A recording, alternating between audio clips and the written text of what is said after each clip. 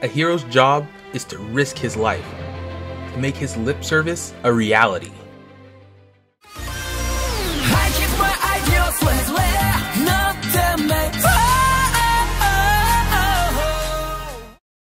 Hello and welcome to another Hot Rodster review.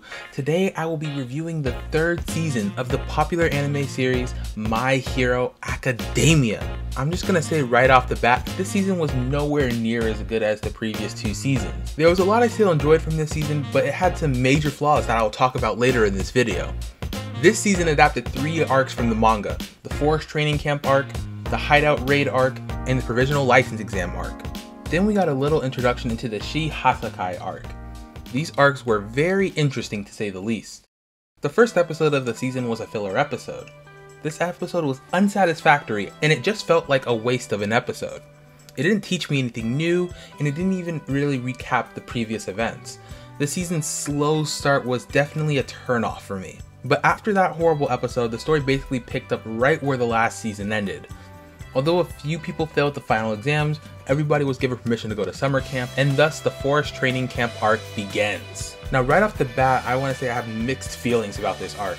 There were some cool moments, but a lot of parts were also very underwhelming. This arc somewhat centered around a little boy who goes by Kota, which rhymes with Shota, and he criticizes hero culture because it took away his parents.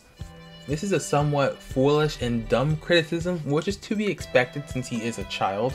I guess I can't expect them to have as extensive of a criticism as the hero killer Stain did, but this is precisely the problem.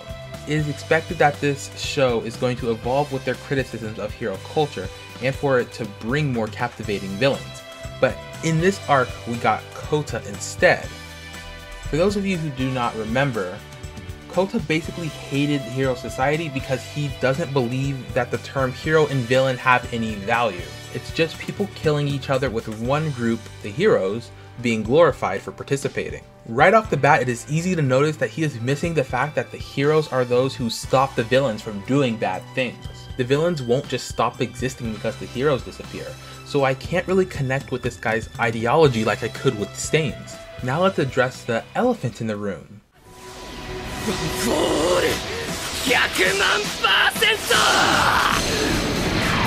ゴ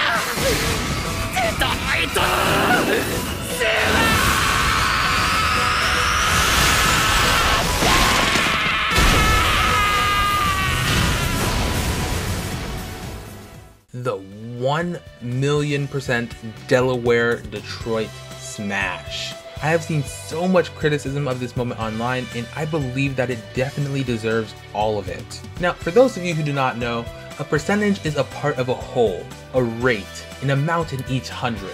Throughout the show, we've seen percentages used to demonstrate how much power Deku was using from his quirk One for All. It let the audience know where he was in his mastery of his quirk, and that is why we knew that he could handle up to 5% without breaking his bones. So when Deku claimed to use 1 million percent of his quirk, everything was just confusing. If he can go higher than 100%, then wouldn't that 1 million percent just be his new 100%? 100% is supposed to be his full power. The fact that he can go higher than that just makes the one for all quirks percentages pointless. Like when he moves up to 8% later on this season, I don't really feel anything because I found myself asking, well, 8% of what? While these percentages used to be a decent way to track Deku's progress, they are now extremely artificial. In chapter 78, Horikoshi explained that he really wasn't using 1 million percent, but it was a way of expressing his intense emotions. If that was his intention, then he definitely did not convey it well in the manga, and it definitely did not translate well to the anime either. But enough of this negativity. You think that after all of that criticism, I didn't enjoy anything about this arc, but that is just not true. It was very cool to learn how the students of Class 1A train their quirks. The extra details were nice because it just reminded me that quirks are a physical ability that can grow stronger. It was also very nice to see a follower of Stain in this arc. I completely forgot he existed and it's probably because he didn't even do much, but it is definitely dope that we got to see some of the hero killer's legacy represented in this arc. And while I don't like the 1 million percent moment and Muscular really isn't that captivating of a villain, there is no denying that the animation during that fight scene was amazing. And Bakugo getting kidnapped was a shocking event, I always just assumed that Deku would be able to rescue him in time, so it was a major upset when he didn't. This event demonstrated to me that there are other consequences for Deku overusing his quirk other than breaking his bones, because if he hurts himself too much, he won't be able to protect and save people like a hero would. Another exciting element that this season added is the idea that there may be a traitor amongst the teachers at UA, because the students were supposed to be in a secret location, yet the villains knew exactly how to get there. I actually have a theory about this. So, during the villain raid, one villain had a quirk that emitted poisonous gas that put people to sleep. When I saw this, I noticed immediately that it is very similar to Midnight's quirk, Somnambulist. She uses her quirk to create a gas that temporarily knocks someone out. These quirks are not the same, but they are similar enough to make me wonder if they are related at all. If Midnight has a brother, cousin, son, or even nephew who's part of the League of Villains, then she is definitely a candidate for whomever the traitor is at UA. This is just a small theory and it is probably wrong, but it is just something I noticed. So while this arc was not the best, there were many elements about it that I very much enjoyed. I also realized that this arc is more of a setup for the next arc, which is amazing by the way. Let's talk about the Hideout Raid arc right now. そうですか邪魔するんですかあなた少しも好みじゃないけど刺してあげます This arc was definitely more enjoyable than the previous one. this is the first arc where we got to learn more about the depth of Bakugo's character. Up until now, he's been portrayed as an angry boy who tells people to die. His personality isn't very hero-like, and I am glad that got addressed in this arc.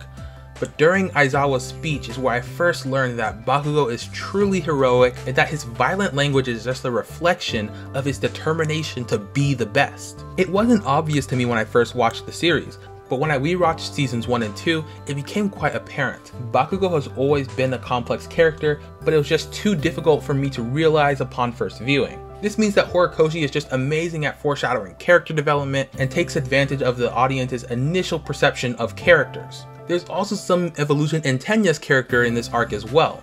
It was more subtle, but I noticed that he allowed the other students to break the rules to be heroic as long as they did not get themselves into any big fights. He still was kind of a stickler for the rules, but just the fact that he was okay with breaking some of them just shows that he had recognized that sometimes the rules get in the way of true heroism. Even Tenya Iida has learned a bit from Stain. Another thing I liked about this arc is that Deku was in a position of leadership yet again. He came up with a plan that incorporated everyone's quirks, well except Momo's I guess, They ask you how you are, you just have to say that you're fine when you're not really fine, but you just can't get into it because they would never. It's cool to see him work with other people like that because it just makes him feel different than All Might. I know that All Might doesn't always work alone, but most of the times I see him taking on villains in crime by himself. He is the symbol of peace, the single pillar that everyone can rely on for support. And while Deku is training to become the next symbol of peace, I don't think he'll be exactly like All Might was. At the end of this arc, we saw why relying on one person as a pillar for support for the world was a bad idea, because now villains will believe that no one else can challenge them, despite the fact that there are still multiple capable heroes. But seeing Deku as a leader in this arc in the whole show made me realize that he is not really going to do it alone. When Deku reaches the top, he'll probably have people there with him. They will all be pillars of support with Deku being the leader amongst them all. That is why the Bakugo rescue operation was the best part of this arc and maybe even the best part of this season. I've already talked about how much I love the teamwork, but the animation was also just stunning. I felt a rush of happiness when Kirishima called out to Bakugo and then he came rushing to be by his side. I have no idea why though. Maybe it's because it was just such a wholesome moment and it made me realize that there are people that Bakugo does care about. The next big emotional event that happened in this arc was the United States of Smash. Not only was the fight between All Might and All for One animated really well, but it also showed how important All Might's status as the symbol of peace was. When I first watched it, I honestly believed that All Might was going to die. I knew that he was getting weaker and weaker, so he probably wouldn't be able to stand up to someone as powerful as All for One. And I was right for the most part. He was losing most of the battle, and he was only able to get the upper hand once he realized that there were people relying on him to win. So he technically overcame All for One with the power of friendship. And a lot of people bash on the power of friendship, but it was handled really well in this scene. Because it was used to convey that All Might was a hero whom everyone relied on. It was as if everyone gave All Might their strength so that he could fight the battles that they never could individually.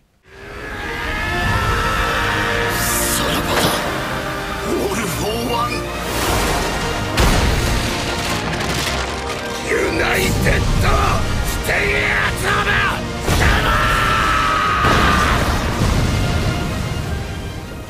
And this arc did have one major consequence. The symbol of peace is no longer amongst the living. While the person is still alive, the hero known as All Might is dead. It was nice to see some kind of repercussion at the end because it felt like the story was actually moving forward. If All Might were still able to be a hero after all of that, then the story would have felt like it was beginning to stagnate. Now I am looking forward to seeing what a world without All Might is going to even look like. While I did love this arc, there were a few elements that were somewhat off-putting to me. And it mostly had to deal with Shigaraki and All for One's relationship. Horikoshi was attempting to make me feel sympathy for these characters at times, like when Shigaraki wanted to protect All for One because he felt like he could do much without him. It was clear that he looked up to All for One like a father, but I just didn't really care. All for One also tried to make it sound like he had a lot of grief in his life because All Might put a stop to his plans. Again, Horikoshi was trying to make me feel sympathy for this character, but he is a bad guy to my knowledge. All Might stopped him because he was ruining other people's lives, so the sympathy appeal just kinda felt artificial. Unless I get to know more about these villains' backstories and ideologies, then I can't really feel any real sympathy for them. But I did like the ending of this arc with Deku's mother not wanting Deku to go back to UA. It just brought me back into the reality of Midoriya's normal, non-hero world.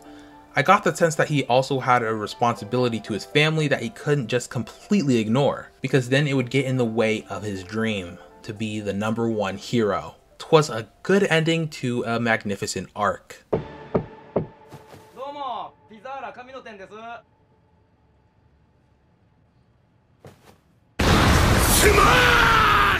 Now let's move on to the provisional license exam arc, the worst arc of this season.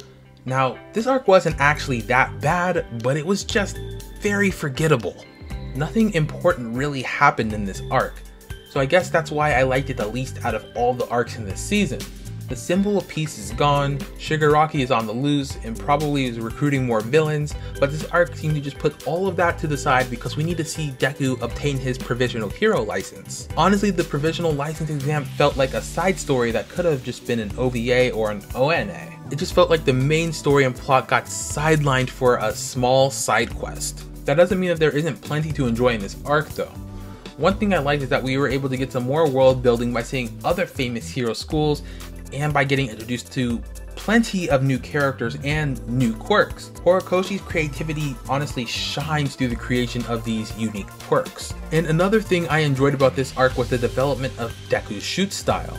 I know a lot of people online meme about Deku's shoot style because Deku using his legs instead of using his arms is the most basic power up ever, but it was a creative solution that made a lot of sense. And now that he has his shoot style, it seems like he was making one for all his own quirk. It is just refreshing to see Deku do something that is different from All Might. However, I also completely understand why some people do not like this shoot style, and that is because it was just overhyped. I understand that using his legs would be a big revelation to him at first, but then during the exam, it seemed like every time he used his shoot style, Deku had some deep inner monologue about how he is now using his legs. あの時僕は戦うことを選択し腕を壊した壊さなければガッチャンを奪い返せていたかもしれない。奪い返せていればオールマイトはオール・フォー・ワンと戦っていなかったかもしれない。あの時光太君を保護し相沢先生のもとへヴィラよりも早くかけられていれば。足を中心に使って鍛える。もう少し早く It definitely gets very annoying, and the more it's emphasized, the more ridiculous it all seems. And before I forget, I wanted to mention that I did not like that random filler episode that took place in the middle of the arc. It was an episode that was supposed to promote the My Hero Academia movie that was coming out at the time. I've seen the movie and it's a great movie, but the episode had almost no connection to that movie. We just saw Class 1A doing a hero training drill for most of the episode, then small hints towards the plot of the movie during that episode. I don't know why this episode was included in the season. I mean, Studio Bones basically just used an entire episode for their show as an advertisement. It just felt really cheap and cash grabby. They just removed any tension the arc had and that just made the arc even worse. My Hero Academia is literally one of the most popular shonen anime out right now. And they only needed to drop a trailer to get me and literally everybody who watched the show hyped to see their movie. Sorry for the rant, but it just feels like this was one of the worst decisions made by Studio Bones. Anyways, the last part of the arc was the Deku versus Bakugo fight, and it was amazing. The animation was so clean that Deku literally just turned into Michael Jackson. And during the battle, we got more insight into Bakugo's character and emotional state. I never even realized that his superiority complex would clash so hard with the events of the previous arc. He hated himself because he believed that it was his weakness that forced All Might, the hero he looked up to, to retire. Not only that, but Deku, a person who Bakugo saw as insignificant in comparison to himself, got the ultimate acceptance of this hero. All of these conflicted feelings finally led to a boiling point, which resulted in this fight, and it was a very satisfying way to end this arc.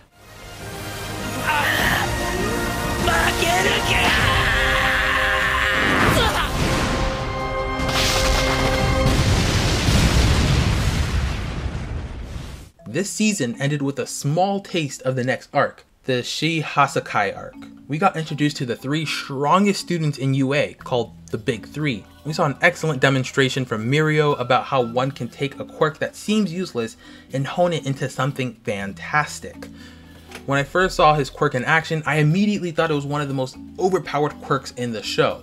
I mean, he was literally able to take on all of Class 1A, a class who has fought multiple villains, and defeat them without taking any damage. It was the most godlike whooping I have ever seen. But after I learned about all the weaknesses of his quirk, like not being able to use any of his senses while the quirk is activated, I learned that it is less about the quirk's power, it is all about how you use that quirk.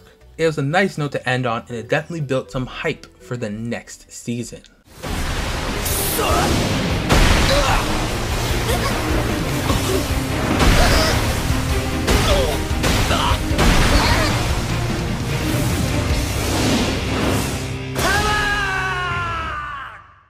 Before I wrap this video up, I wanted to talk a bit about the openings of this season.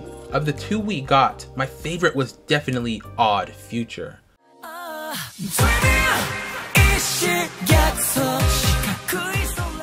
song just has a lot of energy right off the jump, and I just can't keep myself from singing or dancing along to the music. And the visuals are just amazing. There's a clear contrast between the heroes and the villains, and it just looked so beautiful. It is definitely one of my favorite openings in all of My Hero Academia.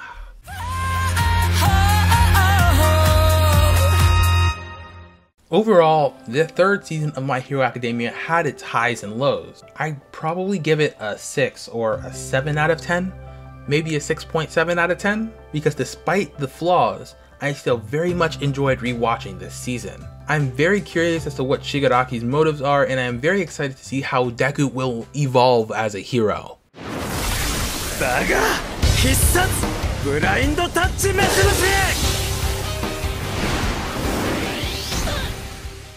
Thank you for watching my video. Be sure to leave a like into Delaware, Detroit, smash that subscribe button to see more My Hero Academia content on this channel. And let me know what you thought about this season in the comment section down below. I'll see you in the next life.